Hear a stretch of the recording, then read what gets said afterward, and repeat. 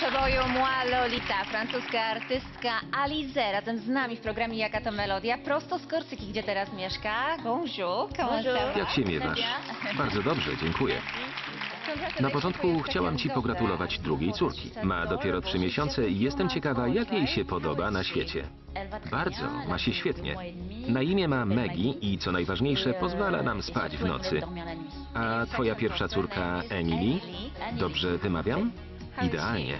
Co u niej? Też ma się dobrze. Niebawem skończy 15 lat.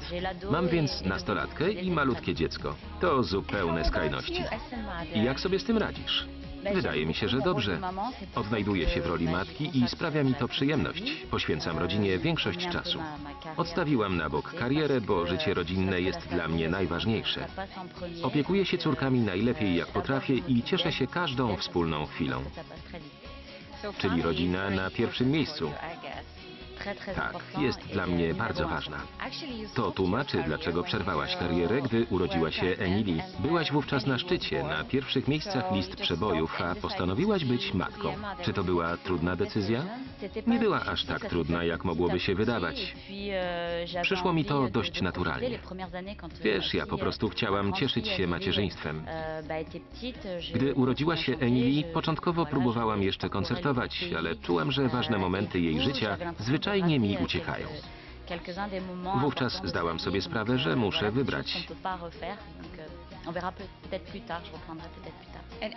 Teraz Emily ma prawie 15 lat, czyli jest dokładnie w tym wieku, w którym ty zdobyłaś wielką sławę śpiewając piosenkę Moi Lolita.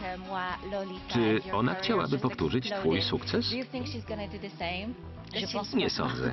Śpiewanie to nie jej bajka. Ona nawet nie lubi tańczyć i wcale jej nie namawiam. Emily żyje swoim życiem, ale jeśli będzie kiedyś chciała spróbować, to jej pomogę. Ty za to uwielbiasz tańczyć. Mam nawet wrażenie, że taniec ostatnio sprawia ci większą przyjemność niż śpiewanie. Trochę tak. Zawsze lubiłam taniec. Zaczęłam tańczyć mając 4 lata. Dopiero później pojawiła się miłość do śpiewu. Poznałam Milen Farmer i dałam się ponieść temu szaleństwu. Ale tak, to taniec jest moją prawdziwą pasją i stał się główną częścią mojego życia. Chyba przyczynił się też do tego twój obecny mąż, który jest tancerzem i choreografem. Tak, jest tancerzem. Startował w konkursach tanecznych, kiedy był młody. Brał też udział w tanecznym programie telewizyjnym. I tak się poznaliście.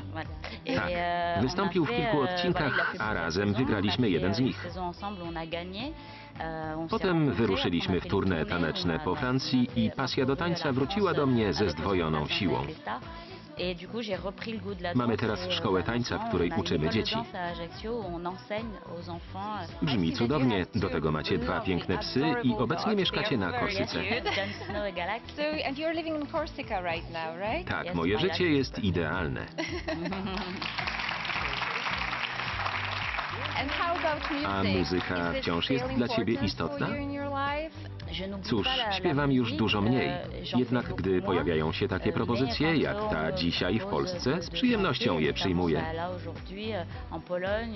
Nie jest to moje źródło utrzymania, więc śpiewam tylko, gdy mam czas i ochotę. Byłaś w Polsce ostatnio dwa lata temu. Tak, i zawsze, gdy do Was przyjeżdżam, jest to miłe przeżycie. Koncert, który zagrałam dwa lata temu, był dla mnie wyjątkowy. Mam wrażenie, że Polacy lubią język francuski i te piosenki. Cudownie, że jesteś z nami. Dziękuję Ci za rozmowę. To była dla mnie przyjemność. Bardzo dziękuję.